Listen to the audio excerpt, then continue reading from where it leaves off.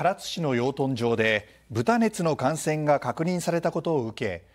農林水産省は今日九州7県をワクチン接種の推奨地域に指定しました。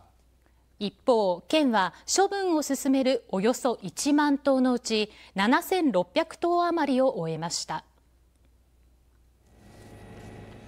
豚熱の2例目の感染が確認された唐津市肥前町の養豚場では県がおよそ1万頭のうち7600頭余りの処分を終えました。猛暑での過酷な作業が続いていて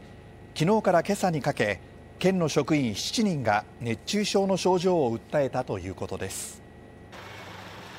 また県が派遣を要請し現場に入っていた自衛隊は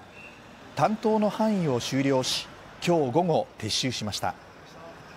自衛隊はおよそ200人体制で大きい豚が多い豚舎を重点的に担当しおよそ4500頭を処分したということです。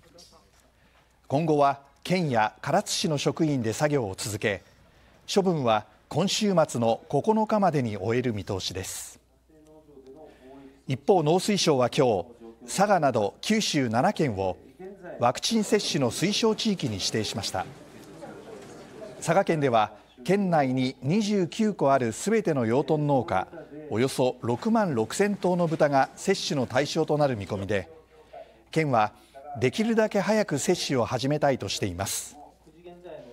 ワクチンの接種は獣医師や一定の条件を満たした生産者が行うことができますが県内ではほとんどの農家で生産者自らがワクチンを接種する予定です。